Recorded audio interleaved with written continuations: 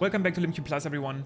On this channel, I'm 100%ing Breath of the Wild by a bit every day until Tears of the Kingdom comes out, which is today in 149 days. We're past the 150 day mark. I'm still editing my current main channel YouTube video, uh, Can You Beat Breath of the Wild with Only the Master Sword? I should be done in the next three hours though after recording this. So I thought today, because we're making pretty uh, fast progress, I'm actually on 29 uh, sorry, 26.13%, and we still have so many days left. I'm gonna show you my favorite spots in Breath of the Wild. I'm gonna get some Korok seeds along the way if I see them, but that's not gonna, not gonna be the super focus of today.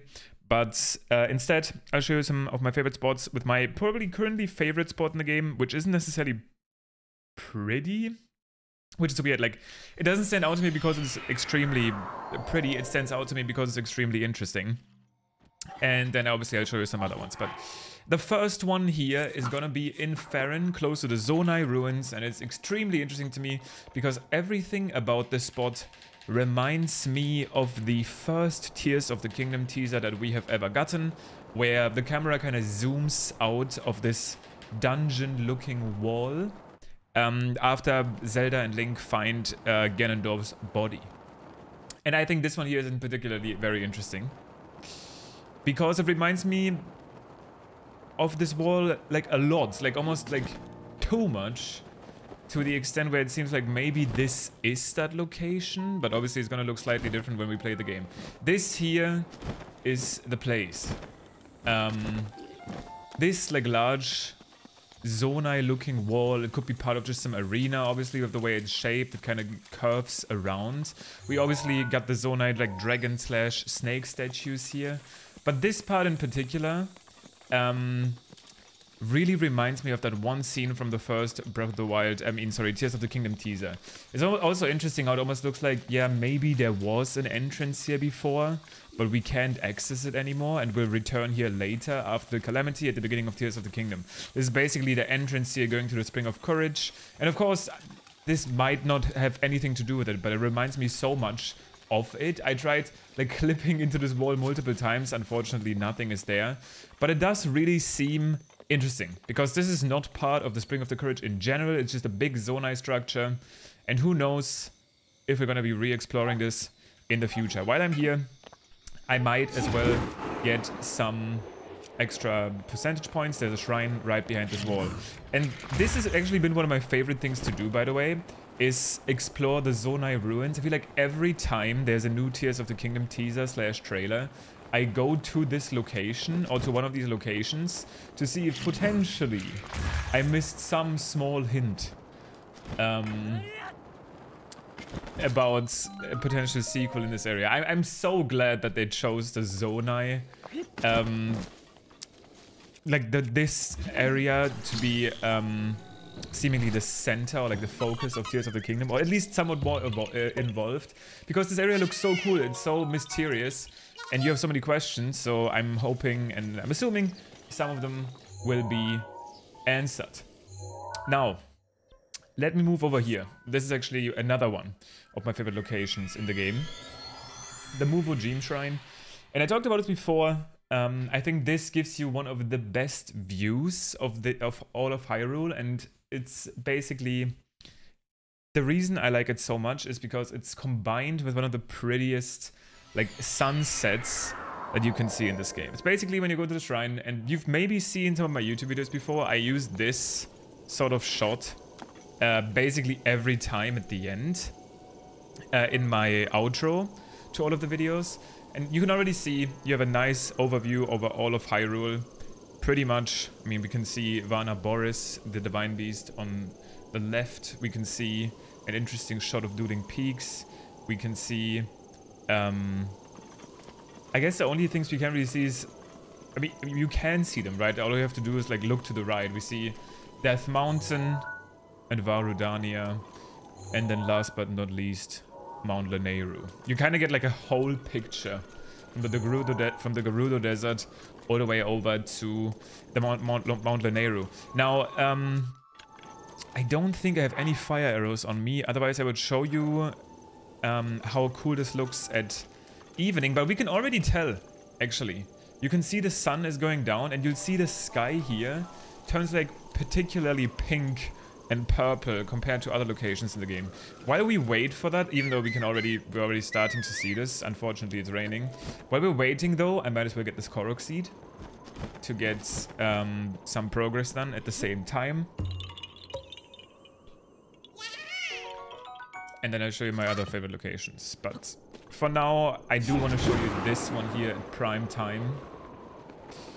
Which is happening, it's happening. Sun is gonna go lower and lower. And you can already see the sky changing drastically. I don't know why the sky changes so much more here compared to other areas in the game. I guess this is kind of something, some uh, specific code that they gave to all of the areas uh, surrounding the Lurelin region, which this is where we are. Um, Lurelin is basically just where I'm aiming down there. Which is also something that we can see up here. Lurelin in general um, is a nice place. It, it, didn't make it into my favorite places just because I'm so petty and I'm still mad. Uh, mad. I'm still mad about the fact that there is no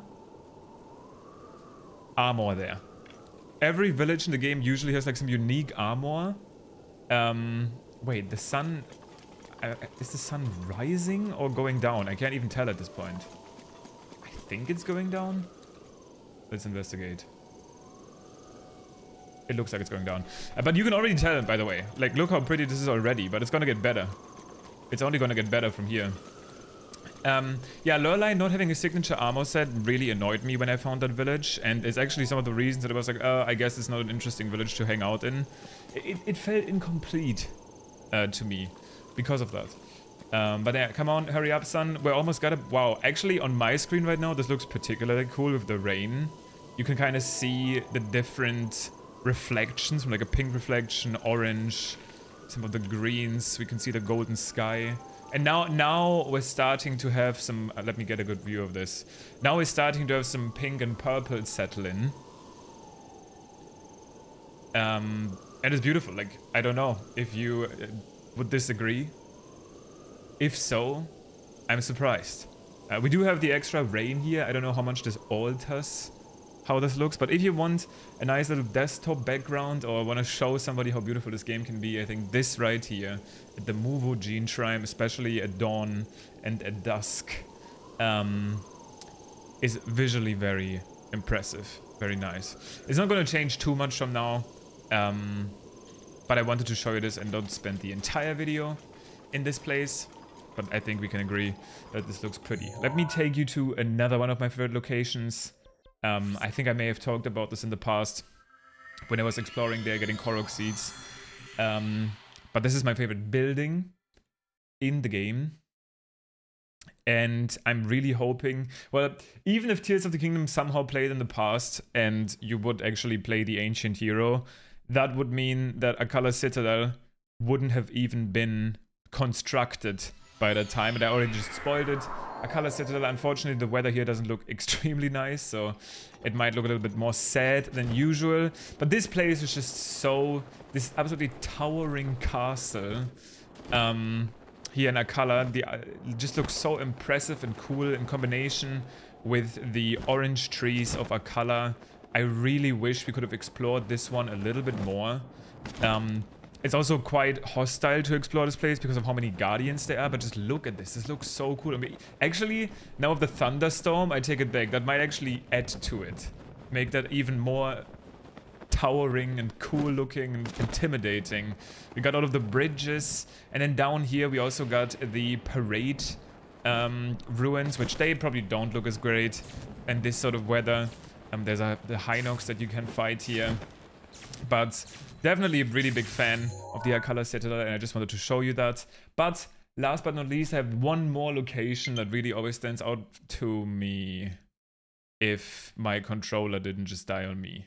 That's the first, but to be fair, it's expected. After like 60 videos, it had to happen eventually. Um, Wow. Oh, okay, I found it. I found my charger. This is obviously the professional video quality that you can only expect on the Limcube Plus channel, where definitely not every video is a one take because I have to upload every single day. But Um, I hope you bear with me. Also, I'm about to plug in my controller into my PC, uh, just to show you my last, the last location I want to talk about. So this was my Windows sound and not yours. I know every time I watch a video and somebody is uh, using a PC and you hear the sound, I every time I think, oh, my PC. I just wanted to warn you, this is my PC. Okay?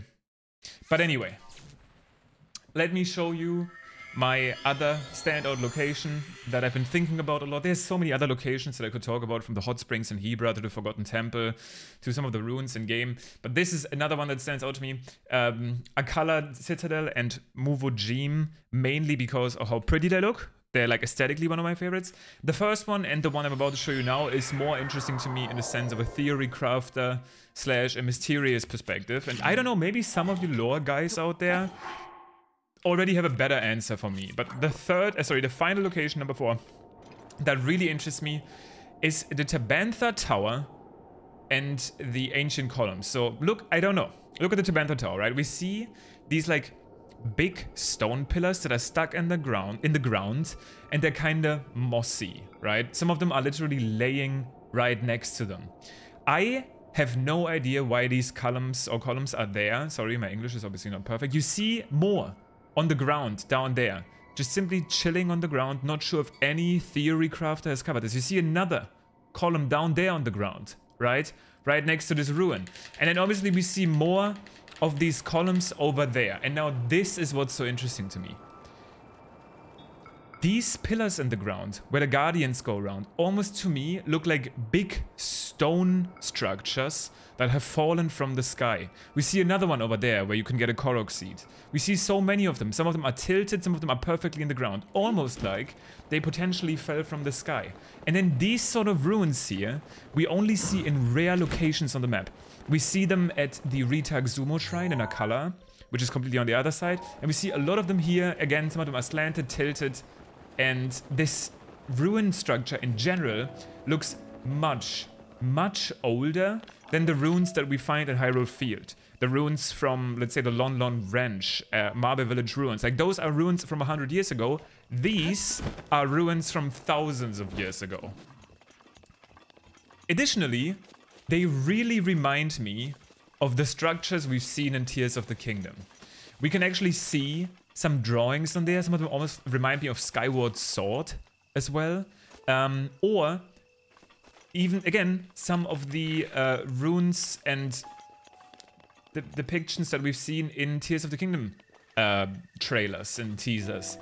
I might be off here, but I think it's extremely interesting how this debris is just on the ground, almost as some flying islands or something at one point crashed down to Hyrule. I could be completely wrong with this. I talked about this on my stream before. Lots of people disagree with me, but I do think it's extremely intriguing. And I love looking around in this place and see maybe I've overlooked a detail.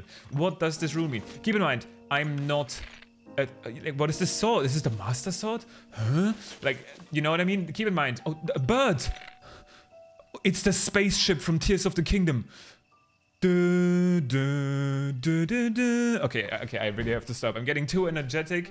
Um, and I'm just joking around. But I'm not a theory YouTuber, right? I hope you know this.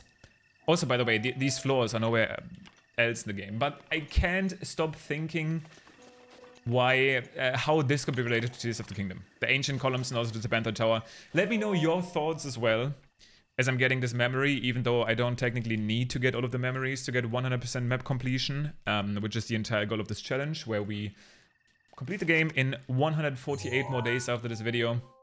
But uh, yeah, that being said, I need to finish my video now. It's almost 10 p.m. for me. I want to finish before 2 a.m.